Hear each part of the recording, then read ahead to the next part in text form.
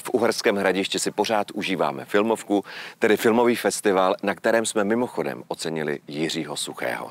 A ten je tady doslova na každém kroku. Tak tohle to je slovácká bůda, místo, kde se vydávají akreditace. A vidíte? Kočka na okně. Na filmovce máme dvě letní kina a milujeme tady zvířátka. Takže, Čorníku, Čorníku, pojď sem. Ještě malý blbý psíček. Filmovka je místo, kde se potkávají přátelé a kamarádi. Ahoj, ahoj. ahoj. Čau. Líbej mě víc. Jsme rádi, že můžeme dotýkat se hvězd. Ačkoliv sny se mi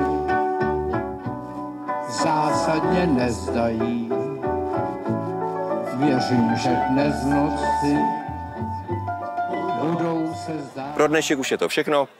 Naschledanou zítra.